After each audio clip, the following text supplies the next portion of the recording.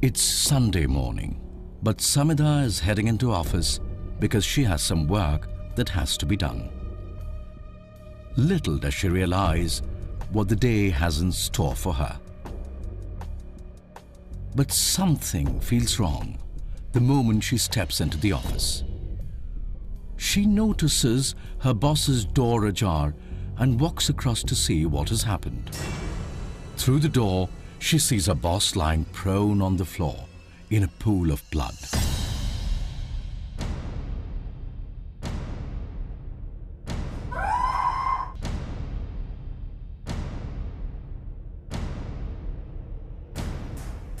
Completely horrified, she gingerly walks closer and realizes that he's not alive. In panic, she dials 100 to call in the cops.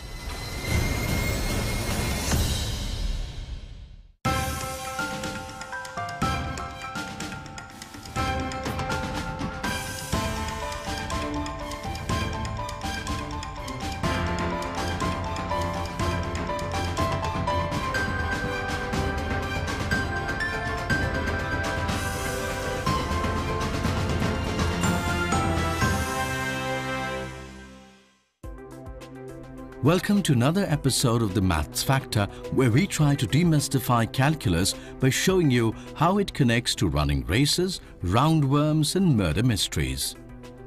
Sounds intriguing? Keep watching.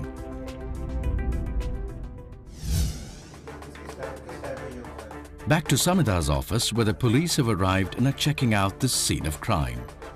Meanwhile, Samida is sitting alone, coming to terms with the events of the morning when things suddenly take a turn for the worse. A policeman comes in and starts questioning her. He asks her where she was last night. He figures that she did not have a good relationship with the boss. It suddenly strikes Samida that she is a possible suspect. She needs to produce an alibi. She is with three college friends partying till 4.30 am but she's not sure when the crime was committed. She catches the constable and manages to get this information. At 10 am, the body temperature was found to be 85.6 degrees Fahrenheit. Then again at 12 pm, it was 82.6 degrees Fahrenheit. The room temperature was measured to be a constant 70 degrees Fahrenheit. Using this, can Samida figure out the time of death? This could help her get an alibi and save her skin. Surprisingly, what Samida could use at this time is calculus. It could help her estimate the time of death. Before we figure out her calculus capabilities, whether she did or did not murder her boss, let's try and understand what calculus is. For that, we'll need to change scene to a racetrack. These three college students, Bisman, Hashmeet and Swati are competing against each other to decide which of them will represent their college in an inter-college sports meet.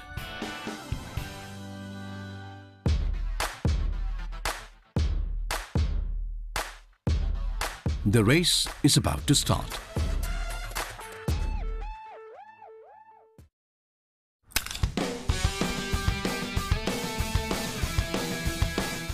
It looks close, but finally Bisman races ahead to win the race. Let's just freeze the moment to understand the mathematics behind the race. Now let's say that Bisman's close to Usain Bolt in terms of timings and has completed 100 meters in 10 seconds. Then we know her average speed is equal to distance by time is equal to 100 meters by 10 seconds which is equal to 10 meters per second which means she ran 10 meters every second. Now this is simple arithmetic. What it does not give us is the speed at any given point during the race. Let's replay the race and study it in more detail. At the 50 meter mark, Swathi is ahead. Bisman races ahead only after that. So what is clear is that Bisman's speed is not constant through the race. This is when calculus comes in. If Bisman ran at a constant speed of 10 meters per second, this is how we would plot it. However, since the speed keeps changing through the race, we can map it like this.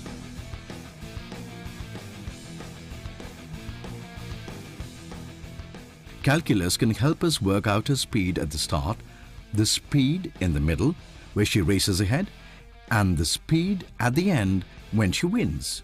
It can basically work out the speed at every second of the race.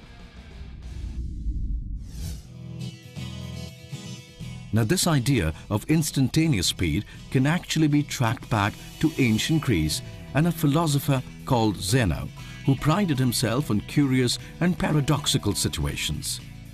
Let me tell you about one of them. This one involves an arrow. Zeno's claim is that an arrow in flight is always at rest. Curious, right? How can a moving arrow not move? It becomes easier to understand if we take a snapshot of an arrow in space. At that point, it is motionless. Since time is a collection of instants, the arrow never moves, which is clearly paradoxical, since the arrow is clearly traveling. Now let's move away from Zeno to the idea of calculus. From the race, it's clear that calculus is concerned with how things change, Here's another example.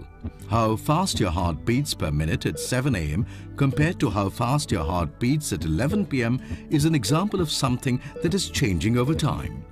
So calculus can come into play here. There are two main areas we cover in calculus, differentiation and integration. Very, very simply, differential calculus cuts something into small pieces to find how it changes. Integral calculus joins, integrates the small pieces together to find out how much there is. Not so complex, is it? In fact, even these roundworms can do calculus. Wondering how that works? Take this particle of food. The intensity of the smell reduces as you move away from it. Now from each position, the roundworm judges the rate of change of strength of the smell and decides its path forward or otherwise. This is equivalent to taking a derivative in calculus.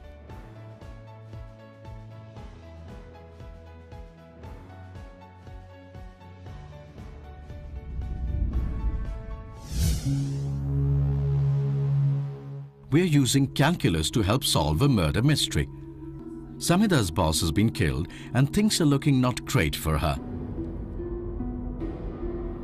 The police have figured that she and the boss have a bad relationship and are wondering if this is motive enough for her to be earmarked as suspect. In panic, Samida calls her brother, who is an engineering student. She gives him the information she has. Her brother tells her that he will call her back in five minutes. She waits anxiously. Her brother announces that the time of death was around 3.52 a.m. Samida is flabbergasted. She asks him how he worked it out. Let's try and figure what he did. We knew that at 10 a.m. the body temperature was 85.6 degrees Fahrenheit and at 12 p.m. the body temperature was 82.6 degrees Fahrenheit. Normal body temperature is 98.4 degrees Fahrenheit. Using the rate of change of temperature versus time, he works out that the time the person was killed was 3.52 am. What he actually used was Newton's law of cooling to estimate the time of death. Samida was of course so relieved that she wasn't really paying attention to the maths.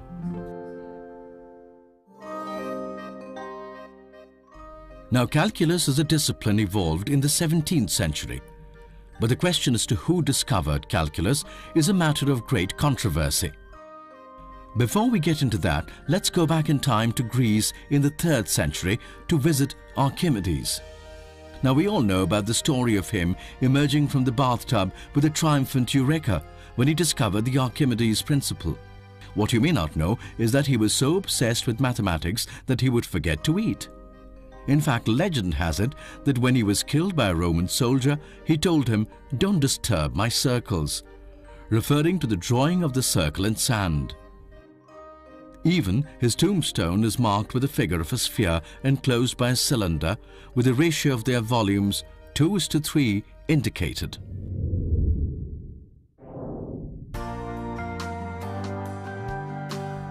We are now going to join Shivesh, a 12th standard student who has decided not to study for his exam, but to instead explore some pre-calculus concepts developed by Archimedes.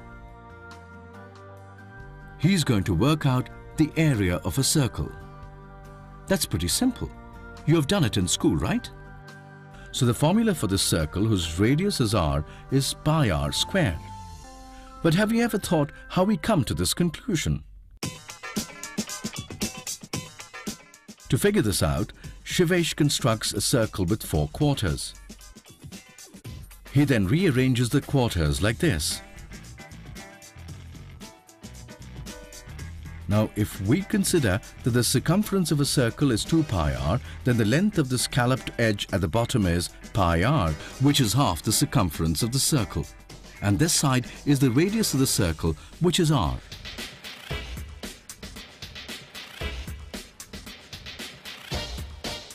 Now he constructs yet another circle with eight equal segments.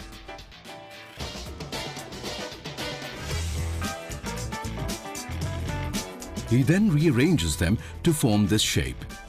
Now if we look closely, we'll see that the scalloped edge at the bottom is looking straighter. Other than that, the length of the scalloped edge at the bottom is still pi r, and the blue side is the radius of the circle, which is r, is now a bit more upright. Now Shivesh constructs yet another circle with 32 segments and repeats the process.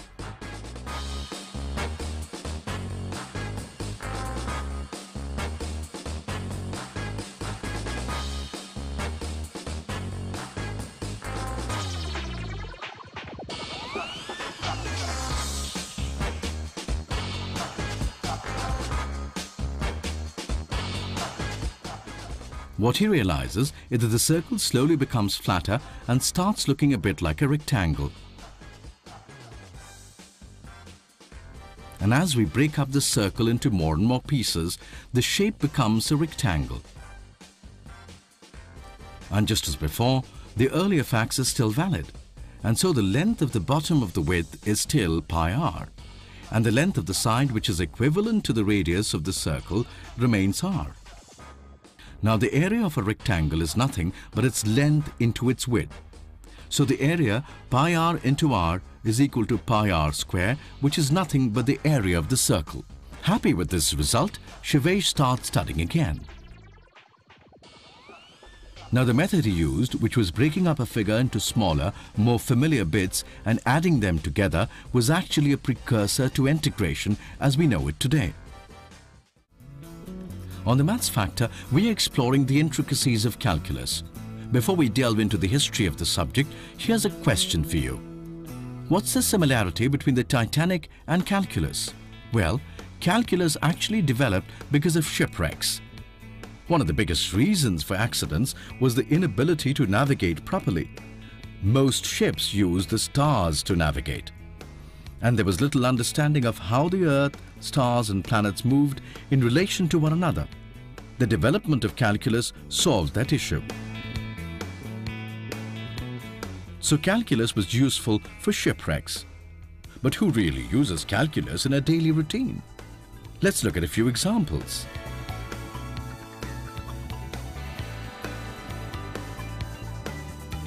This is Pitambar Sani, an architect who's been commissioned to build a new university. He's contemplating a dome-shaped building. Now, he will need to use integration to determine the amount of materials necessary to construct a curved dome, as well as calculate the weight of that dome and determine the type of support structure required.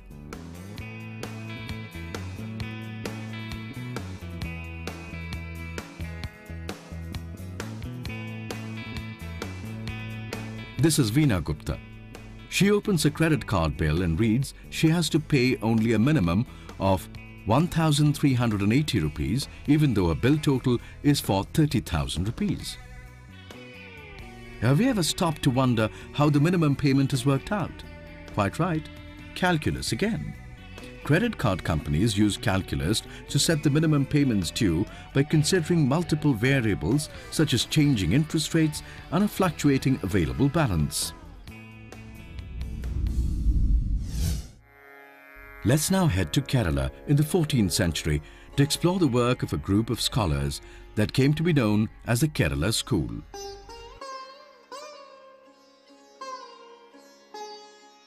The founder of the school was Madhav. He came from the town of Sangamagrama in Kerala. Though very little is known about them, they developed a whole bank of knowledge in the area of pre-calculus way before the Europeans even contemplated this subject. In fact, it is from these scholars that the first known calculus texts emerged. Now, what did these mathematicians do? They worked with infinite series, which is a critical idea in the development of calculus. Madhav showed how one can be expressed as a series where we add a half plus a quarter plus an eighth plus a sixteenth and so on.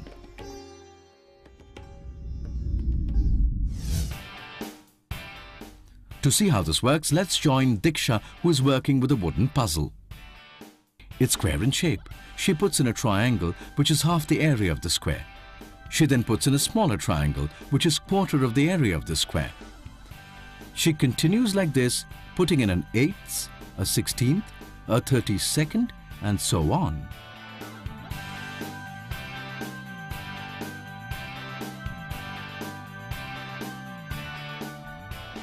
But as we continue adding in fractions, the answer will come closer and closer to 1.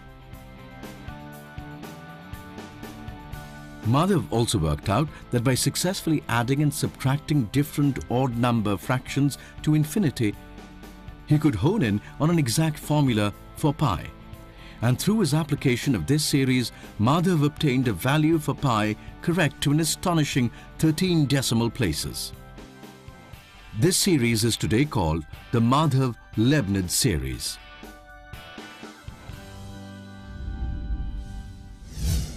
Now these mathematicians also coined a fun way to remember this value of pi using a poem.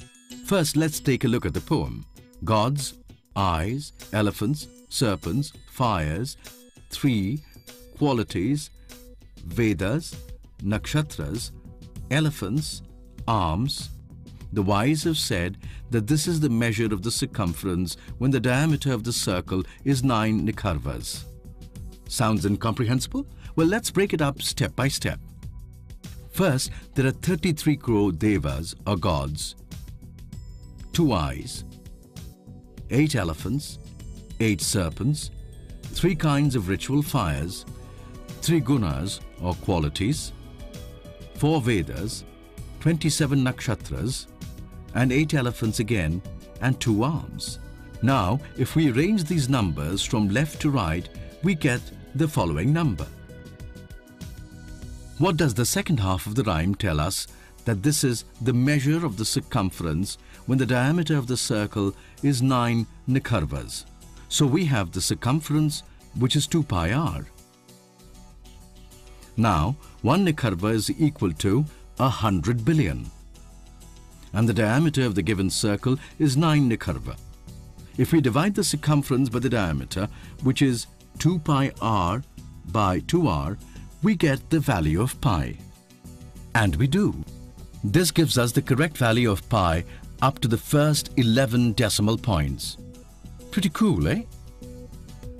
Some historians have suggested that the work of the Kerala school may have been transmitted to Europe via Jesuit missionaries and traders who were active around the ancient port of Cochin at that time and may have had an influence on later European developments in calculus.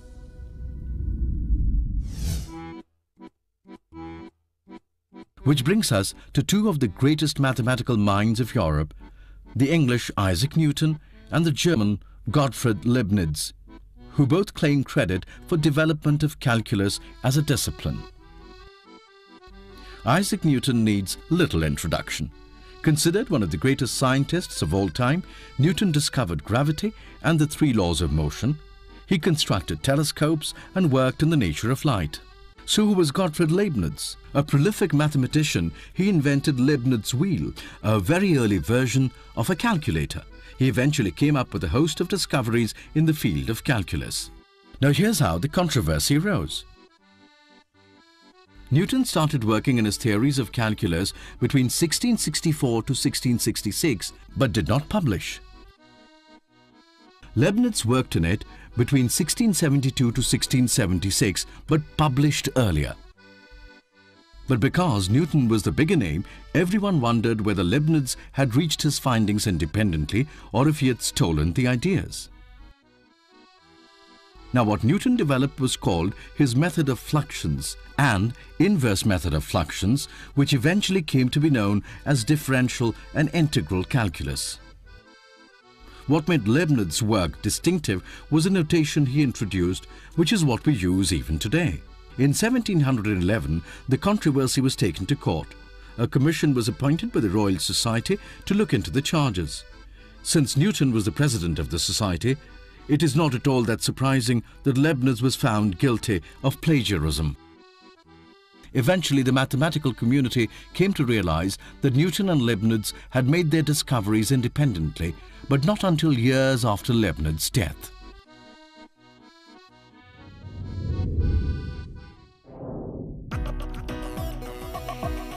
Well, that's all for today.